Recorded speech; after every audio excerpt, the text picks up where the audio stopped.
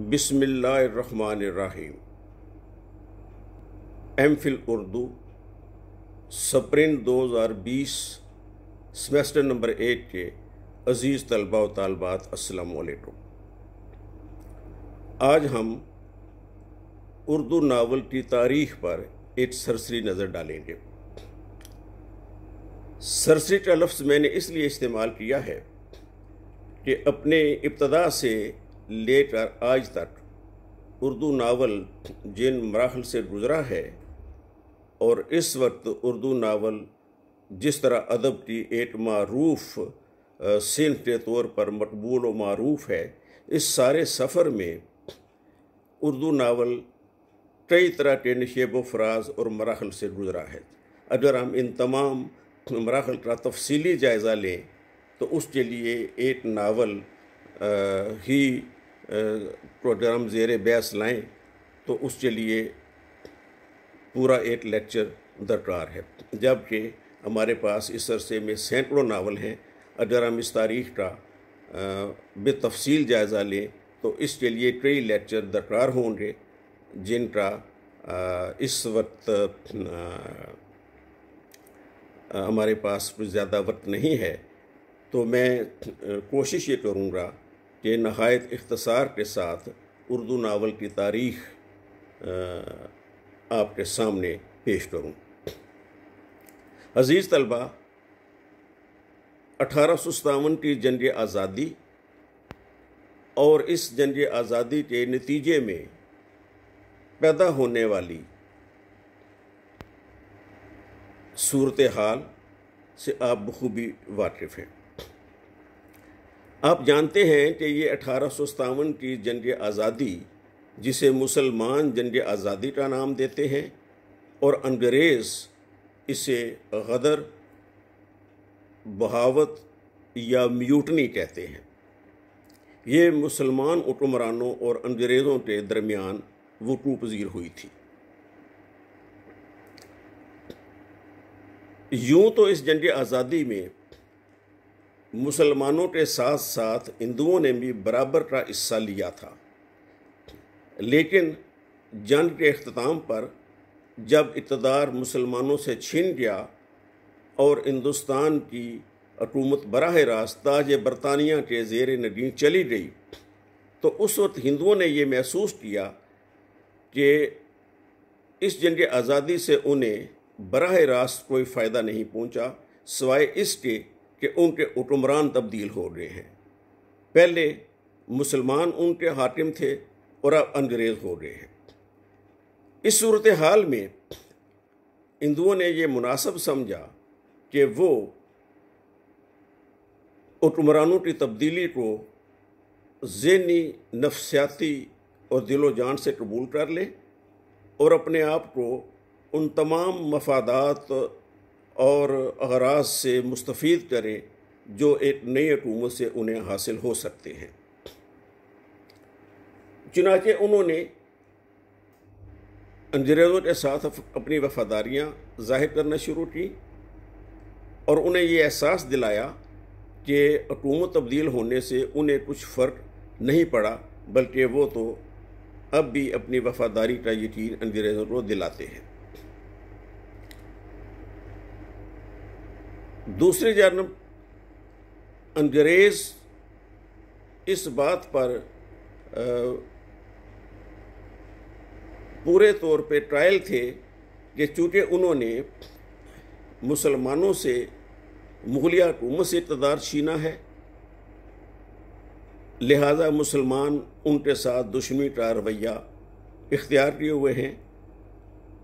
लिहाजा ज़रूरी ये है कि मुसलमानों को इस बहावत का, इस गदर का, इस म्यूटनी का मज़ा चखाया जाए। चुनाचे उन्होंने जंग आज़ादी में हिस्सा लेने के जुर्म की पादाश में मुसलमानों पर तरह तरह के मुकदमात चलाए और इन मुकदमात के नतीजे में मुसलमानों को फांसी की सज़ाएँ दी गई, उम्र कैद की सज़ाएँ दी गई उन पर सरकारी मुलाजमत के दरवाजे बंद कर दिए गए। जो पेंशन याफ्ता थे, उनकी पेंशन बंद कर दी गई। कारोबार के लिए माहौल उनके लिए नासाजगार बना दिया गया। नतीजतन, मुसलमान जो पहले ही मफलूक हाल थे, मज़ीद पस्ती और अफलास की तरफ़ धकेले गए। इस सूरत हाल में लोग अपनी जानें बचा बचा कर दिल्ली से इजरत करने लगे। ये रवैया तो था अंग्रेज़ों का मुसलमानों के साथ। दूसरी जानब मुसलमान भी ये समझते थे कि चूँकि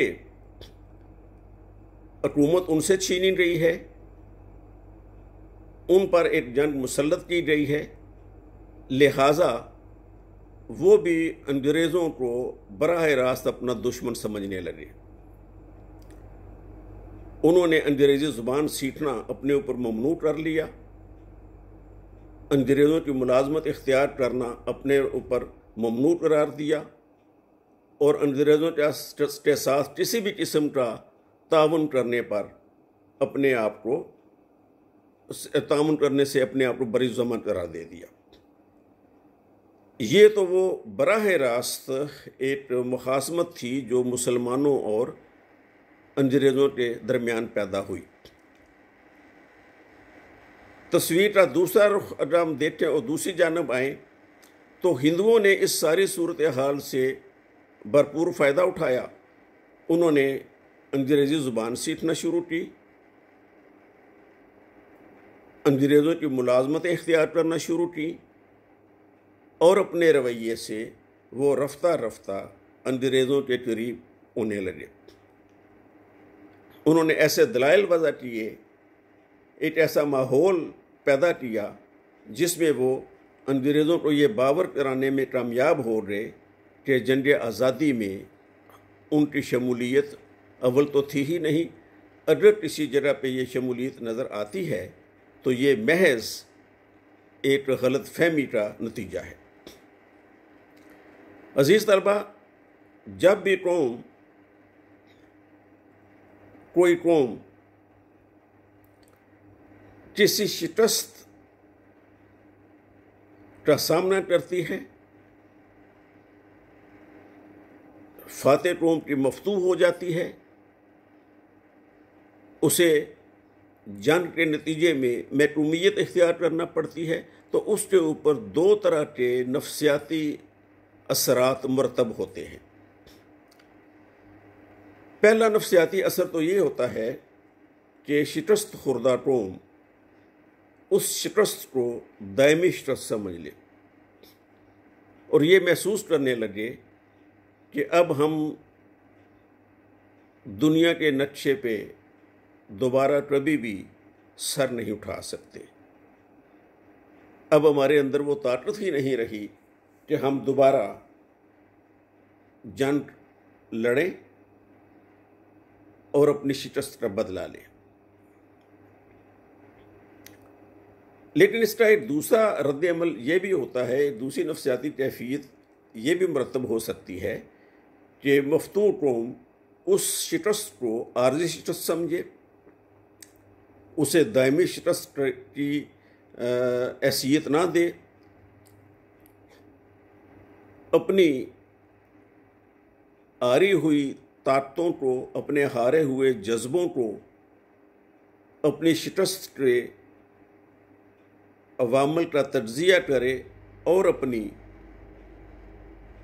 कुत को नए सिरे से मुजतमा करके एक बाज़्ज़त और बावटार कौम के तौर पे दोबारा सर उठाने की कोशिश करें। ये सूरत हाल जो अठारह सौ सतावन के बाद हिंदुस्तान में पैदा हुई, इसके नतीजे में मुसलमान जिस जहनी ट्रशम ट्रश और नफसियाती दबाव का शिकार हुए, इसमें मुसलमान जोमा में से, मुसलमान और दानश्वरों में से बाज़ लोगों ने इसका तजिया करना शुरू किया, इसका जायज़ा लिया और ये महसूस किया कि अगर इस शिकस्त को दायमी शिकस्त समझ लिया गया तो फिर हिंदुस्तान में मुसलमान कभी भी दोबारा एक कौम के तौर पे अपने आप को नहीं मनवा सकेंगे। इस बात का एहसास सबसे पहले सर सैद अहमद ख़ान को हुआ।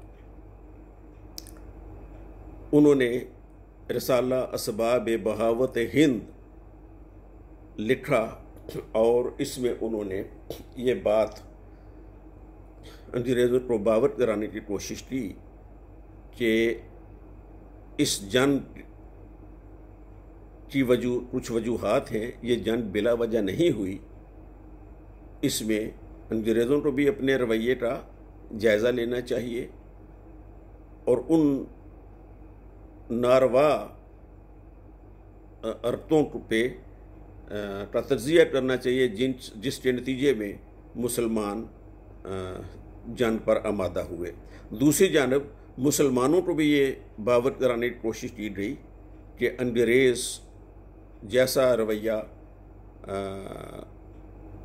दीगर अकवाम के साथ इख्तियार किए हुए हैं, वही रवैया उन्होंने मुसलमानों के साथ भी इख्तियार किया था। लिहाजा ये जंग दो तरफा इसबाब का नतीजा है।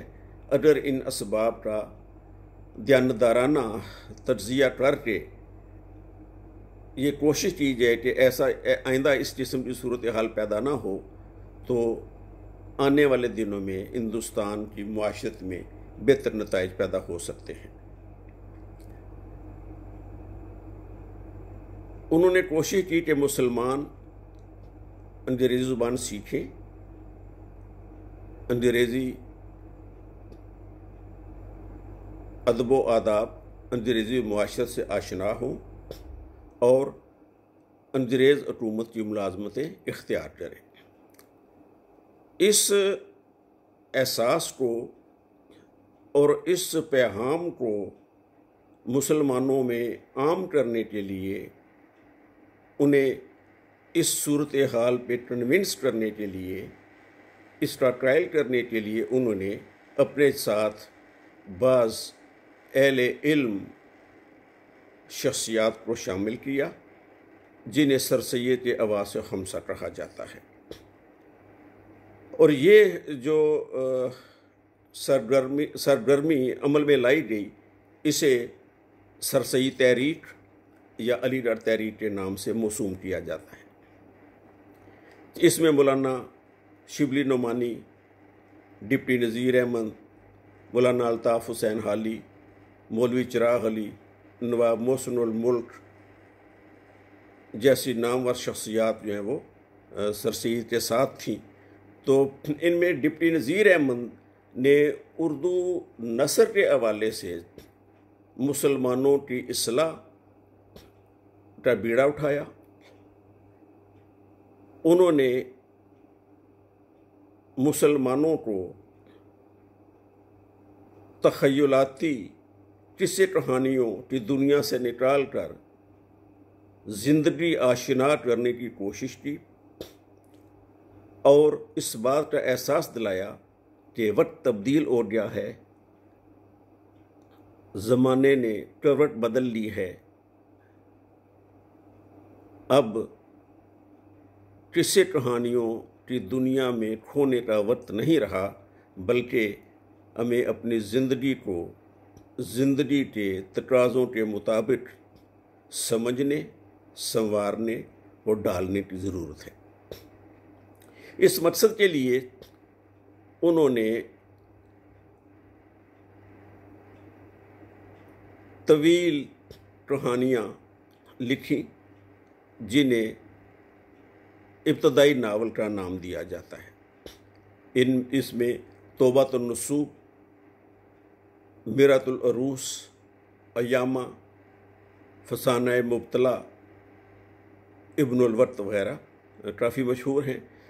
तो इन तमाम कहानियों में डिप्टी नज़ीर अहमद ने ज़िंदा इंसानों के मसाइल को उस अहद में ख़वातीन के मसाइल को अंग्रेज़ हकूमत में मुसलमानों के मुकाम को समझने के वाले से, समझाने के हवाले से अपना मौजू बनाया। खसूस इब्न वर्त में उन्होंने उस पूरी सूरत हाल का अदबी सतह पर जायज़ा लिया, जो अठारह सौ सतावन की जंग आज़ादी के बाद हिंदुस्तान में पैदा हुई थी। अयामा और मिरातुल अरूस जैसे नावलों में उन्होंने औरतों की सलाह का फरीज़ा सर अंजाम दिया। और यूँ हम देखते हैं कि उन्होंने उर्दू के दास्तानी माहौल से निकलकर एक ऐसी तरह डाली जिसे नावल का या नावल की इब्तदाई शक्ल का नाम दिया गया। वो हम इन्हें बाकायदा नावल करार नहीं दे सकते, इसलिए कि इनमें कई तरह के फ़नी नटाइस मौजूद हैं। मिसाल के तौर पे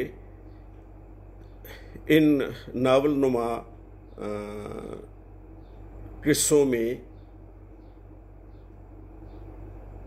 प्लाट उस तरह मुनज़म नहीं है जिस तरह बाद के नावलों में हमारे सामने आया। इन किस्सों के किरदार जामंद हैं। इनमें मुटाल में मनाजरे की शक्ल इख्तियार कर लेते हैं। इनमें बाज़ में उस किरदार के मुटाल में नहीं नज़र आते, बल्कि वो नावल निगार के मुटाल में नज़र आते हैं। ये नटाइस अपनी जगह पर मौजूद होने के बावजूद मैं ये समझता हूँ कि अडर डिप्टी नज़ीर अहमद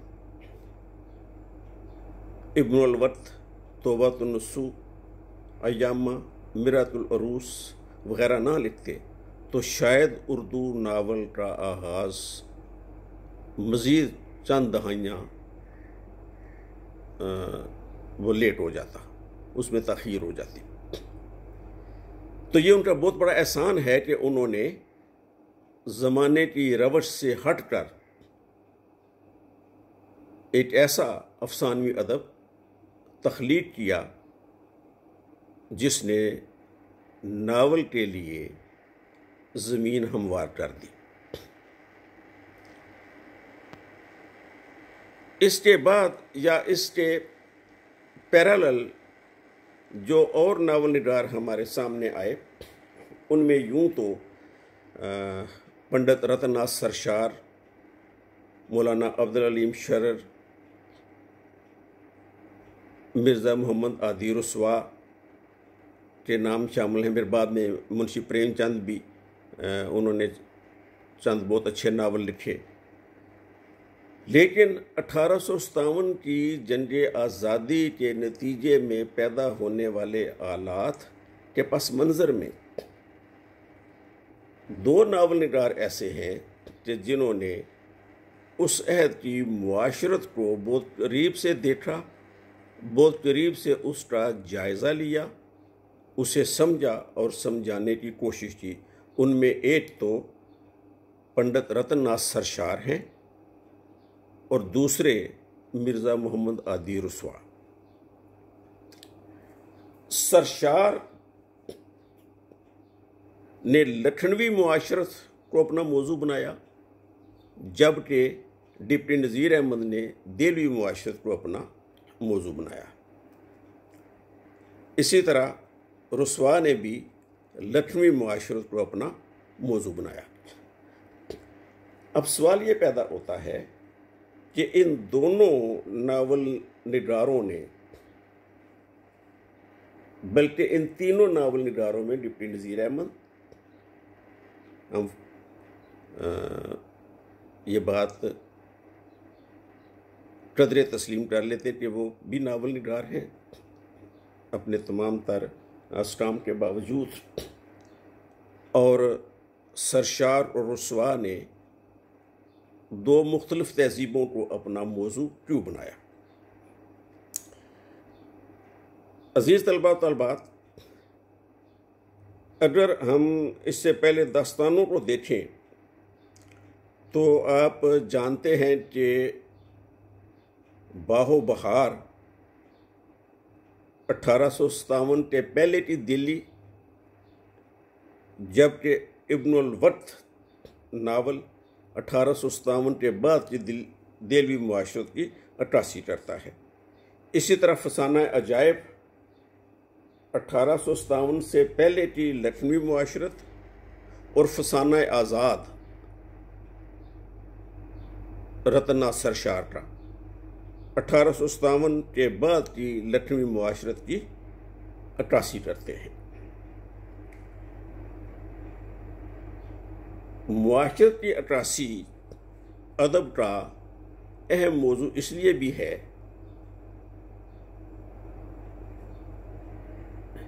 कि मुआशरत ही से हमारी तारीख के मुस्तबिल माजी की तारीख का तजिया होता है। आल की तारीख के लिए लाए अमल मुरतब होता है। और मुस्तबिल की तारीख तश्कील पाती है। इसलिए ये बहुत ज़रूरी है कि हम एक दफ़ा लठन माशरत के जवाल के हवाले से कुछ समझने की कोशिश करें और उसका तजिया करें। जैसा कि मैंने अभी आपसे ये बात की कि मुगलिया सल्तनत का शिराजा जब बिखरा, अब ये ये जेर में रखिए रहे कि दिल्ली जो है वो भी एक बार नहीं उजड़ी। दिल्ली कई बार उजड़ी। अहमद शाह अब्दाली, नादर शाह दुरानी, उनके हमलों ने भी दिल्ली को उजाड़ा। इस हवाले से मीर तटमीर का एक बड़ा खूबसूरत शेर है कि दिल के लुटने का क्या मजबूर हो, ये नज़र सौ मरतबा लूटा गया। मीर जो हैं, वो दिल्ली की तहजीब में इस तरह रचे बसे थे और दिल्ली की तहजीब उनकी ज़ात में इस तरह रची बसी थी कि मीर के यहाँ दिल और दिल्ली में कोई फ़र्क नहीं रहता। तो मुगलिया सल्तनत का शिराजा जब बिखरा और मरकज़ दिल्ली कमज़ोर हुआ अठारह सौ सतावन से भी पहले तो सियासी इंतशार और अफरा तफरी की राहें खुल गई। दिल्ली के मातहत जितने भी सूबेदार थे वो रफ्ता रफ्ता खुद मुख्तार होने लगे। दारुल सल्तनत, अवध की रियासत में दारुल सल्तनत फैज़ाबाद से कभी एक जगह मुंतकिल होता, एक शहर कभी दूसरे शहर। अब जो आखिरी जब रियासत अवध पर जवाल आया तो आखिरी उनका उस वक्त जो दारुलसल्तनत था, वो फैज़ाबाद था। अब फैज़ाबाद से नवाब आसफ़ुद्दौला के ज़माने में ये लखनऊ में मुंतकिल हो गया। अवध का शाही ख़ानदान नस्लन ईरानी था। अवध का शाही ख़ानदान जो है, ये ईरानी नस्ल लोग थे। लिहाजा इनका जोट भी सारा ईरानी तहजीब व तमदन के मुताबिक था। दूसरी जानब दिल्ली में मुग़ल सुन्नी थे, जबकि लखनऊ में अहल तशैय ज़्यादा थे, दिल्ली में सुन्नी हुकूमत थी। बक्सर की जंग के बाद नवाबान अवध अंग्रेज़ों की अयारी के हाथों दरबार दिल्ली से बिल्कुल मुनकता हो गए। अंग्रेज़ नित नए तरीक़ों से उन्हें अपने जेर नडीन करते चले गए। फरमा रवायान अवध के पास दौलत की फरावानी थी। ये आप यकीन इसके बारे में जानते होंगे कि रियासत अवध उसके हुक्मरानों के पास बेपना दौलत थी। इतनी दौलत थी कि जिसे ज़ाया करने के लिए भी उन्हें समझ नहीं आती थी कि इसे लौटाया कैसे जाए। अब होता ये है कि दौलत की फरावानी इंसानी ज़िंदगी पर कई तरीक़ों से असरअंदाज होती है। तो जंग बक्सर में शिकस्त के बाद नवाबान अवध के पास आइंदा जंग करने का कोई जवाब ना रहा। जवाब चाह रहा न था, कोई गुंजाइश नहीं रही उनके पास। लिहाजा उन्होंने अंग्रेज़ों के साथ एक तरह से no war eight, no war pact जंग ना करने का मुआदा कर लिया।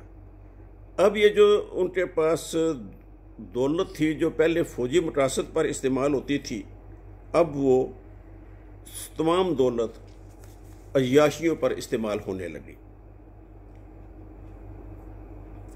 सल्तनत का कोई नस्बल ऐन ना रहा। दौलत का मशरफ मसरफ बेजा हो गया। यानी दौलत का जो इस्तेमाल था, वो बेजा चीज़ों पर इस्तेमाल होने लगा। ये तवील कहानी है कि जिसे मैं क्या अब यहाँ पे इसकी तफसील में जाऊँ। तो आप इतना समझ लीजिए कि नवाब गाजीउद्दीन हैदर, नसीरुद्दीन हैदर और वाजद अली शाह का ज़माना ये लखनऊ में ऐश कोशी की इंतहा का ज़माना है। वाजद अली शाह ने अपने लिए रंगीला पिया का लकब इख्तियार किया। यानी वो अपने आप को रंगीला पिया कहलवाने में फ़ख्र महसूस करते थे। अब इन अयाशियों की वजह से ख़जाना रफ्ता रफ्ता खाली होने लगा।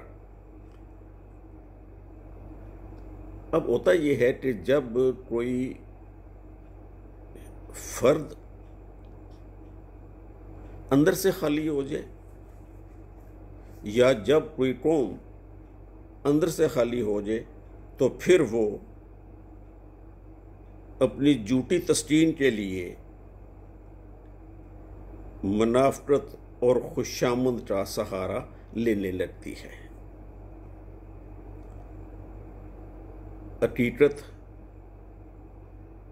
और सच्चाई के ख़त्म होने का एक बड़ा नुकसान ये होता है कि झूठ और रियाकारी आम हो जाती है। अब जो लखनऊ के नवाब थे, उन्हें खुशामदियों ने मसखरों ने और जूटे टसीदा खानों ने अपने घेरे में ले लिया। नवाब और रईस फरेब ज़ात का शिकार हो गए और जूटे दरबारियों पर दौलत लौटाने लगे। जूटी वज़ादारियों नज़ाकत और तकल्लुफ़ का चलन आम हुआ और एक वक्त ये आया कि नज़ाकत मसनू वज़ादारी अपने अरूज पर पहुँच गई। इसे हम तहज़ीब का अबूरी ज़माना यानी एक ऐसा ज़माना कह सकते हैं जब एक तहज़ीब गुम हो रही थी और उसकी जगह एक नई तहज़ीब जन्म ले रही थी। इन सियासी, मुआशी और तहजीबी महरक़ात के पस मंज़र में लखनवी मुआरे के तीन पहलू नुमाया होकर हमारे सामने आते हैं। इनमें नंबर एक है ऐश पसंदी, नंबर दो मजहबी एतरादात और नंबर तीन, इल्मी व अदबी ज़ौक ऐश पसंदी इनमें सबसे पर हावी रही, जिसकी बदौलत नवाबान अवध औरतों के शौकीन हुए जरा जरा तवाइफों के डेरे बन गए तवाइफ का कोठा आदाब मुआशरत की तरबियत गाह बन गया, जिसका एक बहुत तकलीफ़ दे असर ये हुआ कि घरेलू औरतों को भी अपने खामदों को रजाने के लिए, अपने खामदों को के कदमों को तवाइफ के कोठे पर जाने से रोकने के लिए तवाइफों के से नाजो अंदाज और इख्तियार करना पड़ गया। ये खोखलापन मज़हब में भी आया, जिसकी तफसील में मैं इस वक्त नहीं जाता। इसलिए कि ये एक तफसील तलब और बाकायदा दलाइल के साथ समझने और समझाने वाला मौजू है। तो ये बशर्त ज़िंदगी जब हम लोग फ़ेस टू फेस आपस में मुलाकात करेंगे तो उस वक्त हम इस बात को कभी मौका मिला तो मैं आपको इस बारे में तफसील से बताऊँगा। मुख्तसर इतना समझ लीजिए कि जो नवाब, नवाबीन थे, उन्होंने मजहबी रसूमात में दिख दिखावा और ज़ायदारी को इतना शामिल कर दिया कि उस पर भी आ, उस ज़माने के हिसाब से लाखों करोड़ों पे वो लुटाने लगे। तो ज़ाहिर है कि ऐसी सूरत हाल में ख़जाना जो है उसने बहुत जल्द ख़त्म भी हो जाना था।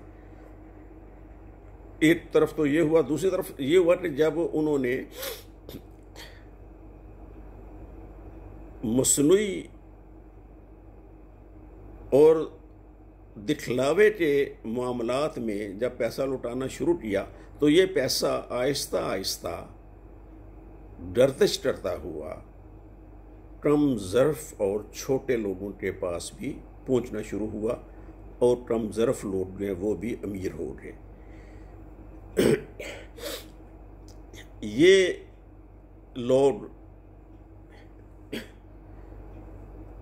दौलत और अमारत के मुजाहरे में ख़ानदानी रईसों से भी आगे निकलना शुरू हो गए। नतीजतन नशा आम हुआ। बंग, चरस, गांजा, अफ्यून, शराब, इस किस्म के अयूब जो हैं वो गैर अयूब समझे जाने लगे। इस किस्म की आदात को उस मुआशरे ने मायूब समझना छोड़ दिया। ये जवाल लखनऊ के, मैं बात कर, कि उन्होंने इन मामला को,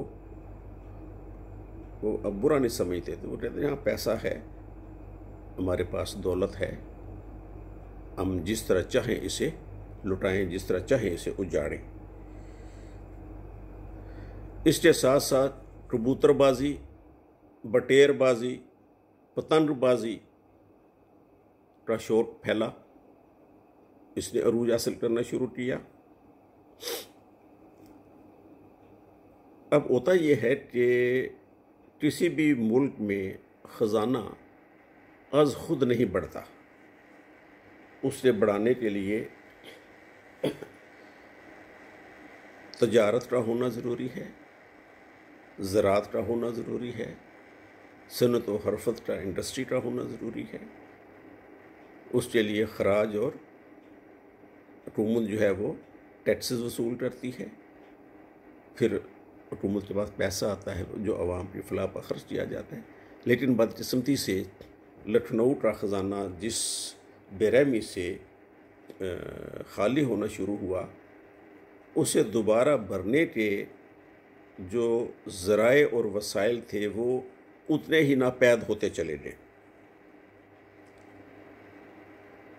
उसका एक नतीजा ये निकला कि बिल आखिर जो रईस और नवाबीन थे, वो साहूकारों के मकरूज होना शुरू हो गए।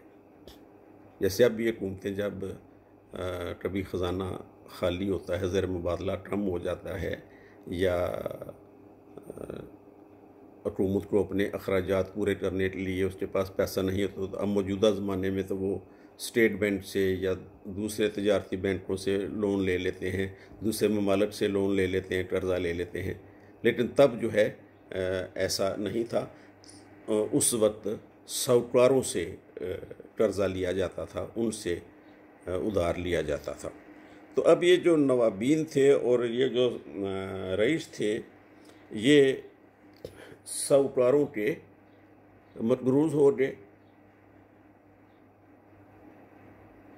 अब जूं जूं उनके अंदर माली एतबार से, एहसास से महरूमी पैदा होता गया तो उसे वो छुपाने के लिए उस पर पर्दा डालने के लिए, ये ज़ाहिर करने के लिए कि हम अभी तक उतने ही अमीर हैं। अभी तक हमारे पास पैसे की रेल पेल है तो उन्होंने तकल्लुफ़ात में और वज़ादारियों में बहुत आगे बढ़ना शुरू कर दिया। उस अहद के लखनऊ में तकल्लुफ़ात और वज़ादारियों ने शिद्दत इख्तियार कर ली। इस सारी सूरत हाल में जो अदब पर असर पड़ा, वो ये पड़ा कि तकल्फ़ात और वज़ादारियों ने ज़बान और अदब को भी शदीद मुतासर किया। एक जहरदार माशरे में इबारत आराई और लफ्ज़ों की ज़ाहरी खूबी पर ज़ोर दिया जाता है। मेरी बात पर थोड़ा सा आप गौर कीजिए कि एक ज़ायरदार माशरे में ज़ुबान बयान में लफ्ज़ों की ज़ाहरी खूबसूरती पर ही ज़ोर दिया जाता है उसके अंदर से मानी गुम हो जाते हैं। मानी पस मंज़र में चले जाते हैं लफ्ज़ सामने आ जाते हैं। ये सारा आ, वो माहौल है जो हमें आ, उस अहद के लखनऊ में नज़र आता है। अब ये जो सूरत हाल है ये हमें पंडित रतननाथ सरशार के नावलों में एक मुहर्र के तौर पे नज़र आती है। ये यही सूरत हाल मिर्ज़ा खादिर रसवा के नावलों में भी एक मुहर्र के तौर पे नज़र आती है। अभी जो सूरत हाल मैंने अपने सामने पेश की, ये तो वो मुआरा था जो अठारह सौ सतावन से पहले जब रियासत अवध और लखनऊ और फैज़ाबाद जवाल की तरफ़ कदम रख रहे थे तो ये वो तस्वीर थी। इससे भयानक तस्वीर अठारह सौ सतावन के लगभग और उसके बाद पैदा हुई। वो क्या थी कि अगर हम देखें कि सरशार के नावलों को अगर हम देखें तो जो बात हमारे सामने आती है, वो ये है कि सरशार जो हैं, वो अपने अहद के मुआशरती बुरान से भरपूर तौर पर आगाह थे।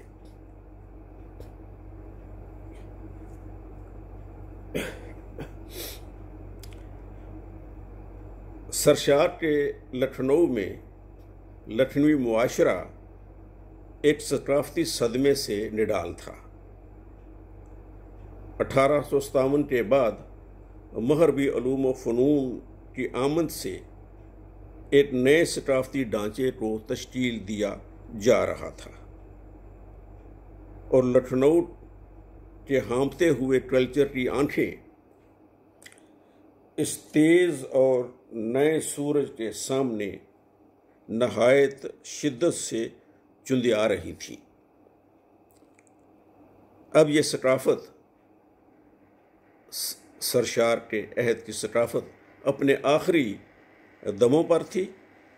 सरशार इस सकाफती सदमे से किसी, ये अहम बात है कि सरशार इस सकाफती सदमे से किसी एहसास कमतरी का शिकार नहीं हुए। उनका रवैया ये था कि वो इस तमाम कार्रवाई को एक मुआशरती अमल समझकर खामोश रहते हैं। लेकिन जब वो ये देखते हैं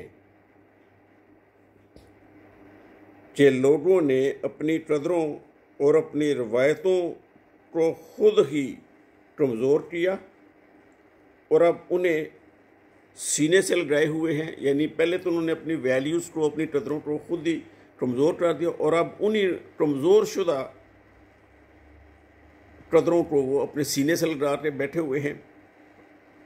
तो ये मुआशरती अमल सरशार के मिजाज की और उनके मिजा की यानी उनका जो मिजाज तश्कील पाया वहाँ से और फसान फसान आज़ाद में जो हमें एक खोजी की सूरत में एक मज़ाया किरदार मिलता है और उसकी पूरी फ़िज़ा में भी एक मिज़ा और ज़रीफ़ाना कैफियत मौजूद है। तो ये सूरत हाल सरशार के मिज़ा की बुनियाद बन जाता है। चुनाचे फसान आज़ाद में लखनऊ के लोगों के तीन पहलू हमारे सामने नुमाया होकर आते हैं। एक ये कि वो बहुत खुशबाश लोग हैं। दूसरे ये कि वो टूटती हुई रसूम को अपने गले से लगाए हुए हैं। तीसरे ये कि उनके अंदर लखनवी ज़िंदगी का कदीम रवायती मिज़ा और ज़राफ़त पाई जाती है। इस तरह लखनऊ के पुराने उमरा, दरबारी और बाज़ारी लोग अफ्यूनी बंडी और मुख्तलफ़ पेशों से वाबस्ता लोग फसान आज़ाद में मिज़ा का एक बहुत बड़ा मंबा बनकर हमारे सामने आते हैं। इनकी गैर अमवार, बेतुकी और मुआशरती तजाद से भरपूर ज़िंदगी की तस्वीरें हमें बेख्तियार हंसने पर मजबूर करती हैं। अज़ीज़ तलबा, ये वो पस मंज़र है, देलवी मुआशरत का और लटनी मुआशरत का। अठारह सौ सतावन की जंग आज़ादी के हवाले से मैंने दिल्ली का एक माहौल आपके सामने पेश किया जिसकी बुनियाद पे डिप्टी नज़ीर अहमद ने अपने नावलों की बुनियाद रखी और फिर लखनवी माशरत जिसके पास मंज़र में सरशार और रसवार के नावल हमारे सामने आते हैं। उर्दू नावल की तारीख में इन दोनों मुआशरती सदमों को पेश नज़र रखना बेहद ज़रूरी है। क्योंकि हम आगे चल कर देखेंगे कि इसके बाद जो सूरत हाल बनती है प्रेमचंद के नावलों में और फिर पहली जंग अजीम और दूसरी जंग अजीम के नतीजे में जो सूरत हाल बनी बर सग़ीर की, उन्होंने उर्दू नावल में क्या मौजूदी तनवो पैदा किया? फिर तरक्की पसंद तहरीक है, फिर उन्नीस सौ सैंतालीस का वाक़ है तकसीम हिंद का। उसके बाद उर्दू नावल जो है वो दो हिस्सों में तकसीम हो गया, यानी पाकिस्तान में तख्लीक होने वाला उर्दू नावल और हिंदुस्तान में तख्लीक होने वाला उर्दू नावल। फिर पाकिस्तान में जब हम महदूद होते हैं अदब के नावल की सिर्फ़ के हवाले से तो यहाँ फिर अयूब खां का मार्शल फिर जुफ्टार अली भुट्टो का ज़माना, फिर ज़ियाउल्ला का मार्शल और यूँ आगे फिर परवेज़ मुशरफ वगैरह। तो इस इन तमाम सूरत आवाल से बरह रास्त असर अदब पर पड़ता है और खसूस उर्दू नावल पर तो इसके गहरे असरात पड़े। तो आइंदा लेक्चर में हम इस कहानी को, इस किस्से को, इस तारीख को, इस जायज़े को थोड़ा सा मज़ीद आगे बढ़ाएँगे। इस अरसे में आप लोग अभी जो गुफ्तु हुई है अपने तौर पे इसे मज़ीद समझने की, इसमें मज़ीद इजाफ़ा करने की, इसे निखारने की कोशिश कीजिए, अपना बहुत ख्याल रखिए। अल्लाह हाफिज़।